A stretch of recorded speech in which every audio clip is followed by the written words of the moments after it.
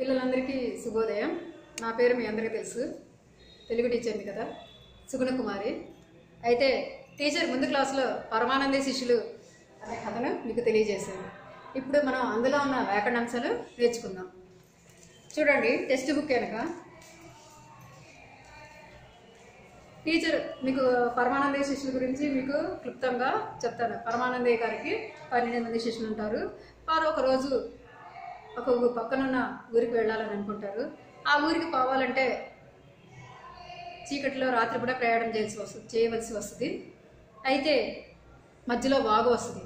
వాగును దాటి వెళ్ళాల్సి వస్తుంది అనమాట వెళ్ళాల్సి వచ్చే సమయంలో వాళ్ళందరూ ఆ పన్నెండు మంది శిష్యులు వాగును ఎలా దాటాలని వాగు నిద్రపోయి ఉందా మేరుకొని ఉందా అని వాళ్ళకి డౌట్ వస్తుంది. తర్వాత వాగు నిద్రపోయిందని వాళ్ళ డౌట్ తీరిన తర్వాత అందరూ ఒకళ్ళు ఒకళ్ళు ఒక్కొక్కళ్ళు చేయబట్టుకొని వాగును దాటుతారు. ముందు క్లాస్లో మనం తెలుసుకున్నాం అయితే దాటిన తర్వాత ఒక శిష్యుడు అరే మనం అందరం పన్నెండు మంది ఉన్నామా లేదో అని లెక్కేయాలని లెక్కేస్తాడు. లెక్కేస్తే ఎంతసేపటికి? పదకొండు మందే వస్తారు. అరే అరే మన మీద కోపంతో వాగు మనలో ఒకళ్ళని తినేసిందిరా అని బాధపడుతూ ఏడుస్తూ బోరు బోరున ఏడుస్తూ గురువు గారి దగ్గరికి వెళ్ళి చెప్తారు. అవును కదా? అంతవరకు మనం తెలుసుకున్నాము. ఆ గురువు గారు తన తప్పులు తన శిష్యుడు చేసిన తప్పుని ఎలా తెలుసుకుంటాడో మనం ఊహించి కథ చెప్పమని అడిగారు ఇక్కడ. ఏం జరిగి ఉంటుంది? గురువుగారు ఎలా గుర్తించారు? శిష్యుడు చేసిన తప్పుని? వాళ్ళు పన్నెండు మంది ఎలా లెక్కేశారు?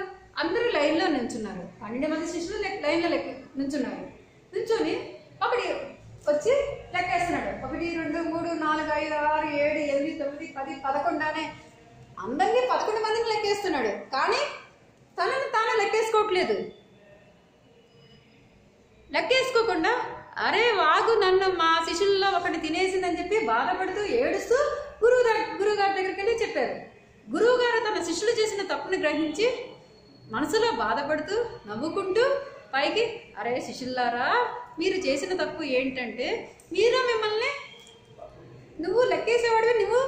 నువ్వు లెక్క కట్టుకోవడం మర్చిపోయావని శిష్యుడు చెప్పి అరే ఇట్లాంటి శిష్యుడితో నేను ఎలా ఏగాలి? ఇట్లాంటి అమాయక శిష్యులతో నేను ఎలా ఉండాలని శిష్యులు శిష్యులు చూసి గురువు గారు చాలా బాధపడుతూ శిష్యుల్ని ఎలా మంచి తెలియగల వాళ్ళు చేయాలని గురువుగారు ప్రయత్నం చేస్తారు. పరమానంద శిష్యుల కథ విన్నారు కదా అట్లాంటి మీరు ఏమన్నా నవ్వు పుట్టించే కథలు విన్నారా? వినలేదా? వింటే జూమ్ క్లాస్లో నాకు ఏదన్నా నవ్వు పుట్టించే సంఘటనలు నాకు తెలియజేయాలి. అవునా? చూడండి ఇవి చేయండి. వినడం ఆలోచించి మాట్లాడడం. ఈ కథ విని నవ్వుకున్నారు కదా? ఇట్లా మీకు నవ్వు తెప్పించిన సంఘటనలు ఏమేమి ఉన్నాయో చెప్పండి. జూమ్ క్లాస్లో అడుగుతాను. మీకు నవ్వు పుట్టించే సంఘ సంఘటనలు కానీ కథ కానీ ఏదైనా ఉంటే నాకు చెప్పాలి. అవునా? తర్వాత శిష్యుల అమాయకత్వాన్ని చూసి గురువుగారు ఏమని ఉంటాడో ఊహించి కథను పొడిగించి చెప్పండి. అంతే కదా? శిష్యులు ఎంతసేపుడికి ముందేమో ఒక శిష్యుడేమో గురువుగారు గు- గురువుగారు పక్క ఊరికి వెళ్దామని అన్నప్పుడు ఒక శిష్యుడు ఏం చేశాడు? అరే పక్క ఊరు వెళ్ళాలంటే వాగు దాటాలి కదా అని అనుకుంటా అని అనుకుంటారు పిల్ల అందరు శిష్యులు కలిసి. అనుకున్నప్పుడు ఒక శిష్యుడు ఏం చేస్తాడు? ఒక శిష్యుడికి ఏమని డౌట్ వస్తుంది? వాగు నిద్రపోయిందా లేదా అని డౌట్ వస్తుంది. అందులో ఏం చేస్తాడు? ఒక కట్టెను మండే కట్టెను తీసుకెళ్ళి ఆ వాగులో పెడతాడు. అది జీమని సౌండ్ వస్తుంది. అంతే కదా మండుతూ ఉన్న కట్టె నీళ్ళలో పెడితే ఏమవుతుంది? ఏమవుతుంది? మీ అందరికీ తెలుసు కదా అది ఆరిపోయి పొగతో జూ అని సౌండ్ వస్తుంది. అప్పుడు ఆ శిష్యుడు ఏమనుకున్నాడు? అరే వాగు నిద్రపోలేదు అని అనుకున్నాడు. సరే రెండో శిష్యుడు అయ్యి నేను వెళ్ళి చూసి వస్తానని ఇంకొక శిష్యుడు ఏమనుకున్నాడు? వెళ్ళాడు. ఏమంటూ వెళ్ళాడు? నేను పోయి ఆ వాగు నిద్రపోయిందో లేదో చూస్తానని వెళ్ళాడు. ఏం చేశాడు? చల్లారిపోయిన కట్టిని తీసుకెళ్ళి అందులో పెట్టాడు నీళ్ళలో నీళ్ళలో పెట్టి తిప్పాడు. తిప్పబోయి తిప్పగానే ఏ విధమైన శబ్దం రాలేదు.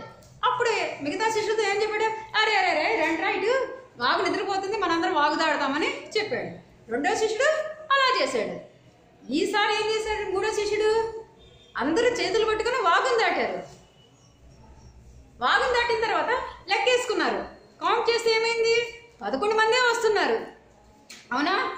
పదకొండు మందే వస్తున్నప్పుడు ఏమైంది? అరే అరే మళ్ళీ ఒకళ్ళని వాగు తినేసింది అని అనుకున్నారు. అవునా? అట్లా. ఇట్లాంటి శిష్యులతో గురువు గారు ఎలా ఉన్నారు అనేది కథ చెప్పమన్నారు. శిష్యుల అమాయకత్వాన్ని చూసి గురువు ఏమని ఉంటాడో ఊహించి కథను పొడిగించి చెప్పండి. అరే ఈ అమాయక శిష్యులతో గురువు గారు ఏమనుకుంటారు? అరే ఒక శిష్యుడు చూస్తే ఇట్లా ఉన్నాడు ఇంకో శిష్యుడు చూస్తే అలా ఉన్నాడు ఈ శిష్యుడు ఏమో ఇట్లా ఉన్నాడు. ఇట్లాంటి అమాయకులైన శిష్యులతో నేను ఎలా చెయ్యాలా అని గురువు గారు మనసులో బాధపడతాడు. కానీ వాళ్ళు అందరూ చాలా తెలియగల వాళ్ళు ఒకప్పుడు వాళ్ళు పూర్వకాలంలో చాలా ఋషులు అనమాట పన్నెండు మంది తెలివైన ఋషులు. వాళ్ళ శాపం వలన ఈ జన్మలో అమాయకులైన శిష్యులుగా ఈ పరమానందయ్య దగ్గర గారికి వచ్చారు. అది కథ అసలు కథ అదనమాట. తర్వాత next Roman Roman number two ధారాళంగా చదవడం అర్థం చేసుకొని చెప్పడం రాయడం పాఠం ఆధారంగా కింది వాక్యాలు తప్పో ఒప్పో గుర్తించండి. శిష్యులందరికీ వాగులు చూడగానే సంతోషమైంది. కరెక్టేనా? తప్పా రైటా? తప్పు. ఇచ్చిన వాక్యము తప్పు. ఇచ్చిన వాక్యము తప్పు. వాళ్ళు ఫస్ట్ ఏమనుకున్నారు? వాగును చూడగలరా ఈ వాగును ఎలా దాటాలా అని భయపడ్డారు కదా.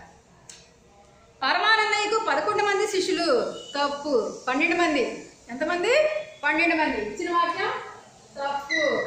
పక్కన బ్రాకెట్లో రాయాలి.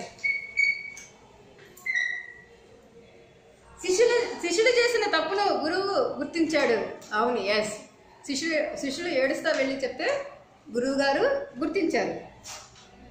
అవునా? గురువుగారు గుర్తించారు. శిష్యులు ఇట్లా తప్పు కౌంటింగ్ చేశారని. నాలుగోది వాగు పగబట్టి శిష్యుల్లో ఒకరిని మింగింది. తప్పు నిజమా? మింగిందా? లేదు. వాళ్ళు లెక్క తప్పు చేశారు. తప్పు ఇచ్చిన వాక్యం తప్పు. థర్డ్ వన్ ఏమో ఒప్పు. ఫోర్త్ వన్ ఏమో తప్పు. Fifth one. శిష్యులు ఒకరి చేయి ఒకరు పట్టుకుని వాగును దాటారు. ఒప్పు. అంతే కదా? కరెక్ట్గా అందరి చేతులు పట్టుకొని వాగును దాటారు. అది.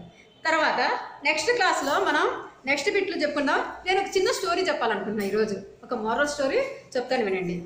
అనగనగా రామాపురం అనే ఊరు ఉందనమాట ఒక ఊరిలో ఒక రామాపురం అనే అనగనగా రామాపురం అనే ఊరిలో గోపయ్య అనే వ్యక్తి ఉన్నాడు.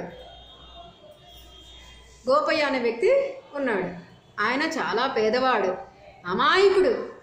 ఎవరు ఏం చెప్పినా చేస్తాడనమాట. చాలా మంచివాడు. ఎవరు ఏ పని చెప్పినా సరే ఇట్లాగే ఇట్లా చెప్పంగానే అట్లాగే చేస్తాడు. చాలా నిజాయితీగా ఉంటాడు గోపయ్య. అయితే ఒకరోజు జమీందార్ గారు గోపయ్యని పిలిపిస్తాడు. గోపయ్యని పిలుస్తాడు. పిలిచి అతనికి ఒక పని చెప్తాడు. ఏం పని చెప్తాడు? పడవకి రంగులేయమని చెప్తాడు?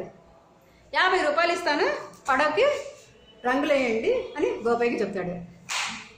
గోపయ్య ఏం చేస్తాడు? సరే అని జమీందార్ గారు చెప్పినట్టుగా పడవకి రంగులేయడానికి కలర్స్ తీసుకొని వెళ్తాడు. కానీ అతను జమీందార్ గారు ఇచ్చే ధనము చాలా తక్కువ. యాభై రూపాయలు అంటే చాలా తక్కువ ధనము. పడవ ఎంత పెద్దదో మీ అందరికీ తెలుసు. చాలా పెద్దది పడవ. అవునా? అవును కదా?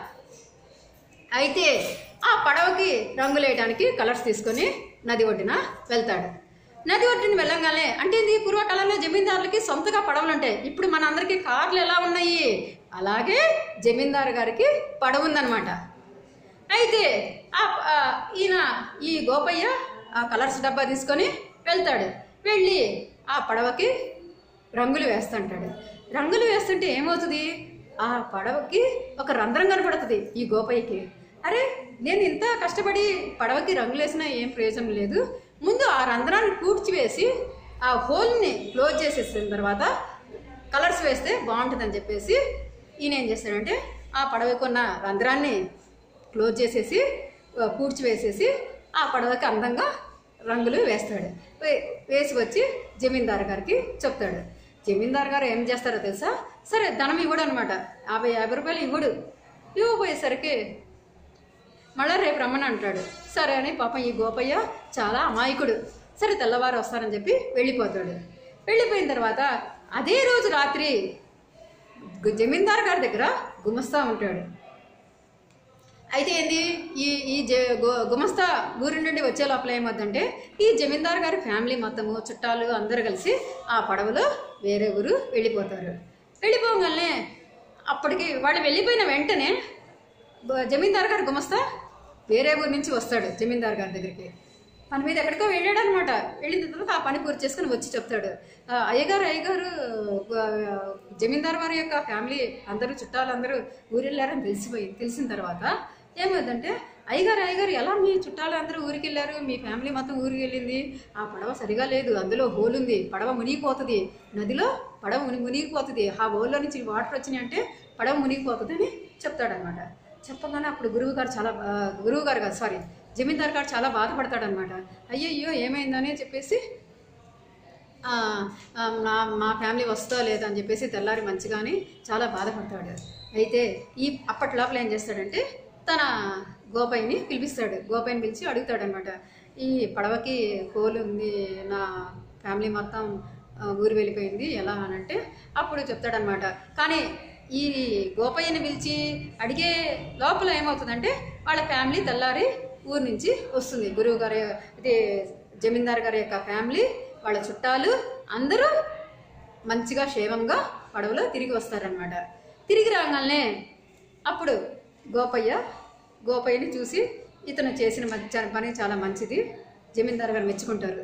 తక్కువ డబ్బులకి రంగులు వేయడమే కాకుండా ఆ రంధ్రాన్ని కూడా పూడ్చాడు. క్లోజ్ చేసేసాడు.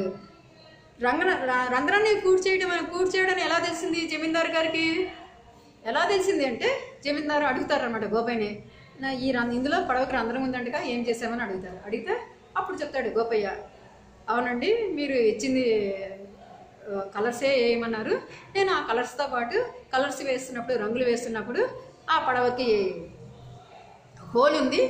ఆ హోల్ని నేను పూడ్చివేసి కలర్స్ వేశాను. అని చెప్తాడు. అప్పుడు జమీందార్ గారు మెచ్చుకుంటాడు. నేను ఇస్తానంది నీకు యాభై రూపాయలే కదా. అయినప్పటికీ నువ్వు చాలా ఎక్కువ పని చేసావు నువ్వు చాలా మంచివాడివి. నీకు మంచి గుణం ఉంది. నువ్వు మంచివాడివి.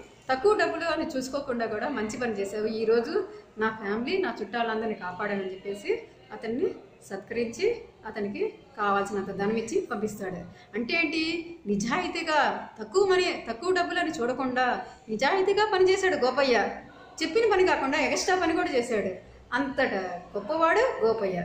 అంటే ఏంటి? ఎప్పుడైనా సరే మనకి ఎవరైనా ఏదైనా పని చెప్తే అందులో ఏదైనా తప్పులు ఉంటే ఆ తప్పులను సరిచేసి మనం పని పూర్తి చేయాలి. అర్థమైందా? ధన్యవాదములు. నెక్స్ట్ క్లాస్లో మిగతా వ్యాకరణ అంశాలు చెప్తాను.